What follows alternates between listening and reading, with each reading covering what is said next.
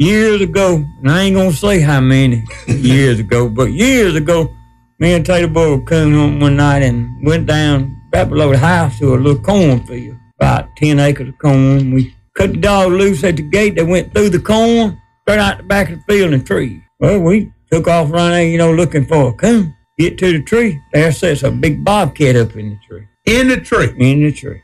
Tater Bug said, What we gonna do?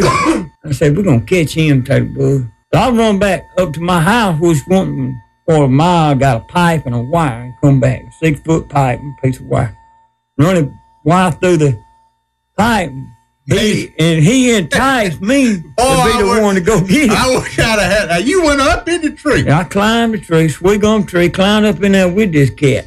Got about, you know, Now what was the cat doing? Was he just scared, or was he? Li- just sitting there, you know, and snarling, you know, making a little snarling sound like, you know, you don't need to get too close. So I got within reach of him with that pipe. Six foot pipe. Uh huh. I reach up, I keep fooling with this cat, you know, he's ducking and carrying on. But finally, I get that wire in the right position. He picked his head up. When he did, I come down on that wire and put that noose on his neck. I had him in. Fight was on. I ain't never seen nothing fight like that thing to fight, man. He was jumping all over the top of that tree. Just hit How high up the tree was probably 30 foot. you hanging on with one hand and you holding on with the other. It was a fight, man. I'm telling you, I come down that tree. It took me a long time, you know, to get the cat down to the ground. I when I got him on the ground, Big Daddy, this thing is done about passed out, you know, because I got this wire so tight on his neck. Well, I lay him out on the ground. He just laying there, ain't doing nothing. Eddie said, You done choked him to death. I said, I hope not. And he got on and he went in that cat's nose and it was on again. Big Daddy. He come right back to and Lord, we had him out there. And, So Tater Bug blew in his nose like yeah, he did. Uh, CPR. on it on a wildcat.